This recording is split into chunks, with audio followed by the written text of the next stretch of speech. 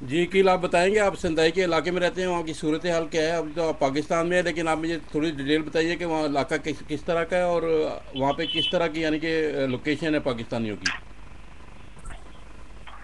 राशिद भाई, पाकिस्तानी जो है, हमारे ज़्यादा पाकिस्तानी वहाँ पे लोग कुओं में रहते हैं और मियाकी लोग कुओं एक टाउन है मियाकी में जो कि कोर्ट के साथ है लेकिन वहाँ पे इस कुओं की सेफ्टी के लिए उन्होंने सात मीटर की दीवार बनाई हुई है तो जब सुनामी ने सिंचाई को हिट किया है तो सात मीटर की दीवार को वो नहीं गिरा सकी तीन मीटर पानी अंदर आया है, जो कि एक किलोमीटर तक आया है। इसलिए कोई पाकिस्तानी इस पानी से मुतासर नहीं हो सकता वहाँ पर दूसरी बात यह है कि हमारी दो फैमिलियाँ जो है, वो एक ऐसी रेंज में रहती है जहाँ पे सुनामी ने हिट किया है। लेकिन मुझे यकीन है इस बात का कि जैसे गवर्नमेंट ऑफ़ जापान ने अनाउंस कर दिया था जल्द के फ़ौरन बाद वो लोग वहाँ से निकल चुके हैं। लिहाजा हमारे पाकिस्तानी सौ फ़ीसद सेंटाइन में सेफ़ है।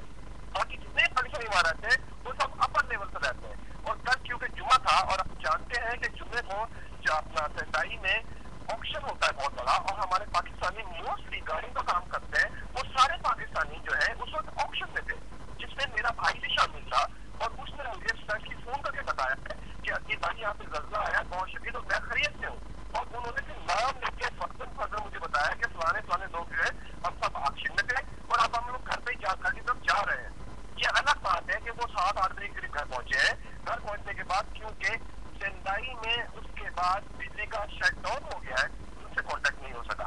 आज सुबह मेरी चार बजे अपने छोटे भाई से बात हुई है उसने कहा कि हम सब यहाँ पर खरीद हैं। इसलिए किसी पाकिस्तानी को इनशाला इनशाला ज़िंदगी में नुकसान नहीं हो सकता।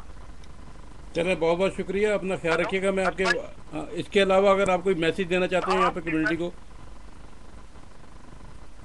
नहीं नहीं मुझे कोई अपना, सब अपने पाकिस्तान मुस्लिम जितने भी लोग हैं, जिनके रिलेटिव हमारे दोस्त अहबाब जो कि जापान चंदाई और मियाजी स्पेशली मियाजी चंद में रहने वाले हैं, उनसे मैं अपील करता हूँ कि वो फ़िक्र मत करें।